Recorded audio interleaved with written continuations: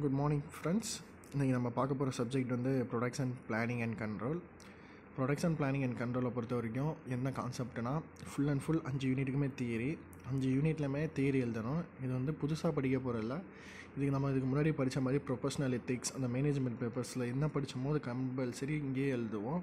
ஆனால் இங்கே எழுதும் போது எப்படின்னா ஒரே மாதிரி கொஸ்டின் இன்னொரு மாதிரி ஆன்சர் வரும். இப்போ ஒரு கொஸ்டின் படிச்சிங்கன்னா அதே மாதிரி இன்னொரு கொஸ்டின் ஆன்சர் வரும். அதனால் கன்ஃபியூஸ் ஆகாமல் ஒரு யூனிட்டுக்கு ரெண்டு கொஸ்டின் படிச்சிங்கன்னா அந்த கொஸ்டினை நீட்டாக படிச்சுட்டு நீட்டாக அப்ளை பண்ணிடுவாங்க. அது மாதிரி மெயினாக எழுதும் போது இது வந்து தியரி பேப்பருங்கிறதுனால வரட்டு பக்கம் பக்கமாக கதை எழுதாமல் பாயிண்ட்ஸ் பாயிண்ட்ஸாக எழுதிங்கன்னா கொஞ்சம் ஈஸியாக கிடைக்கும். சரி வாங்க இம்பார்ட்டன்ஸ் கொஸ்டின்ஸ் என்னென்னு பார்ப்போம். ஃபஸ்ட்டு யூனிட் நேம் வந்து இன்ட்ரோடக்ஷன் அதில் முக்கியமான கொஸ்டின்ஸ் என்னென்னா ப்ரொடக்ஷன் பிளானிங் அண்ட் கண்ட்ரோலோட ஃபங்க்ஷன்ஸு ஆப்ஜெக்டிவ் பெனிஃபிட்ஸு இல்லை ஜென்ரலாக படிக்கிற மாதிரி தான் இருக்கும். அது ஸ்டாண்டர்டைசேஷன் சிம்பிளிஃபிகேஷன் ஸ்பெசிஃபிகேஷன் இந்த மூணு கொஷினுமே ஏழு செமஸ்டராக படிச்சுட்டு வரீங்க. அது ஒன்று ஒன்று தனித்தனி ஃபைமாக இருக்குது அப்புறம் ரொம்ப ரொம்ப இந்த இம்பார்ட்டன்ட் கொஸ்டின்ஸ்னால் அந்த மூணாவது கொஸ்டின் தான். Batch production mass production continuous production and job shop productions அப்போ இதுலேருந்து மேக்ஸிமம் ஒரு கொஷின் கேட்டுரும். அதனால் இதை படிச்சுக்கோங்க. இது எப்படி படிக்கும் போது தான் ஒன்று ஒன்று ஆறு ஆறு பாயிண்ட்டு அந்த மாதிரி பாயிண்ட்ஸ் பாயிண்ட்ஸாக படிச்சுக்கோங்க.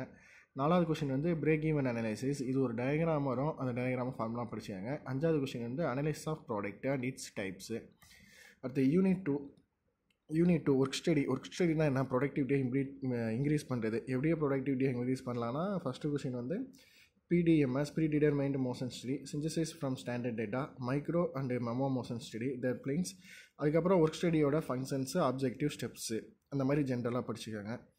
அடுத்து யூனிட் த்ரீ யூனிட் த்ரீ தான் கொஞ்சம் ஈஸியான unit product planning and process planning first question வந்து value engineering and value analysis அதை பற்றி ஃபுல்லாக படிச்சுக்காங்க. அடுத்து single and multi product system அடுத்து ப்ராடக்ட் பிளானிங்கனோட டெஃபினேஷனு ஸ்டெப்ஸு ஃபங்க்ஷனஸு இதெல்லாம் படிச்சுக்கோங்க.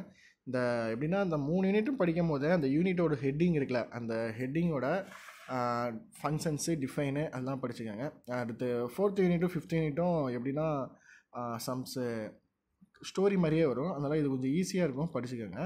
First question fourth unit name வந்து production scheduling first unit name வந்து எம்ஆர்பி செகண்ட் யூனிட் நேம் வந்து aggregate run out method of batch scheduling மூணாவது question line of balance method ரொம்ப important questions fourth question வந்து maintenance and its type அஞ்சு அஞ்சாவது question scheduling and its types இது எல்லாமே general concept இருக்கும். முடிஞ்ச அளவு புக்கை பார்த்து படிக்காமல் நெட்லேயோ ஃப்ரெண்ட்ஸுக்கிட்டேயோ கேட்டு படிங்க. ஒவ்வொரு கொஷினுக்கும் ஹெட்டிங் கான்செப்ட் மட்டும் தெரிஞ்சுக்கோங்க. ஏன்னா ஒன்று ஒன்றும் வரட்டு தியரியாக போய்கிட்டே இருக்கும். அதை பார்த்து நீங்கள் கஷ்டப்படாமல் இப்படி போட்டு குழப்பிக்காமல் இப்போ எம்ஆர்பியா எம்ஆர்பினா என்னென்னு மட்டும் அந்த டெஃபினேஷன் டூ மார்க் தெரிஞ்சுக்கிட்டு சும்மா புக்கை லைட்டாக திருப்பி பார்த்துட்டு இல்லாட்டி ஃப்ரெண்ட்ஸுக்கிட்ட கதை கேட்டுட்டு இப்போ எழுதுனா ஈஸியாக ஹை ஸ்கோர் பண்ணலாம். அடுத்து யூனிட் ஃபைவோட நேம் வந்து inventory control and recent ஸ்ட்ரென்சின்ஸ் BBC இதுவும் ஈஸி தான். ஃபஸ்ட்டு கொஷின் ஏபிசி அனலைசிஸ் ரெண்டாவது கொஷின் இஆர்பி அண்ட் டிஜிட்டு மூணாவது கொஷின் வந்து MRP two fourth question inventory and its types இந்த யூனிட்டும் ஃபுல் அண்ட் ஃபுல் தியரி தான். ப்ரொடக்ஷன் பிளானிங் அண்ட் கண்ட்ரோலை பொறுத்த வரைக்கும் அஞ்சு யூனிட் இருக்குது அஞ்சு யூனிட்டில் தியரியும் கேட்கலாம் ப்ராப்ளமும் கேட்கலாம். அதனால் நீங்கள் எதுவும் கன்ஃபியூஸ் ஆகிடாமல் நீட்டாக எழுதுங்க.